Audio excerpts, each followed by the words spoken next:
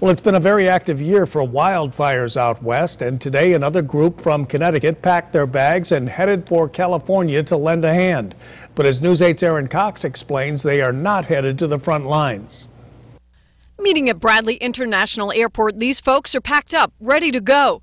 But this is no end of summer getaway. The Capital Region Incident Management Team is heading to California to help coordinate the response to a wildfire. We have people there that, uh, that we're bringing that are going to train are uh, involved with documentation, situational reporting, safety officers. The seven member team will be working in Northern California, helping map out a strategy for a blaze in a remote area that has already burned 18,000 acres. There's no paycheck for this team. They're all doing it on their own time. We're going to be training with people to do this as a, as a career in a lifetime. So the uh, experience that we're going to be able to capture and bring back is going to be invaluable.